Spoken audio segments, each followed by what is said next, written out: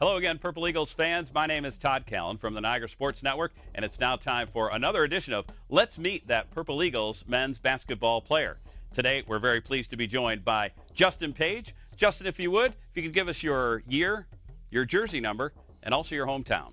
Um, uh, second year, um, sophomore, uh, number five from Peoria, Illinois.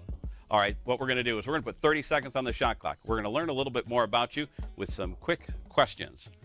30 seconds on the clock. We'll get you started with what's your favorite movie? Uh, Good Will Hunting.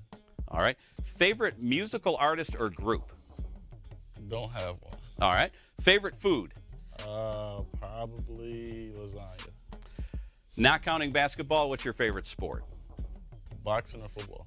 All right. Football. Favorite NFL team? Bears. Okay. What's your favorite app on your phone? Instagram, probably. Yeah. Favorite dessert? Uh, cookies. When it comes to chicken wings, drums or flats? Drums. Drums, he got it in ahead of the buzzer. There goes the 30 second shot clock. Justin Page, thanks so much for your time. you. Folks, my name is Todd Callan, and we'll be back again soon with another edition of Let's Meet That Newest Purple Eagles men's basketball player.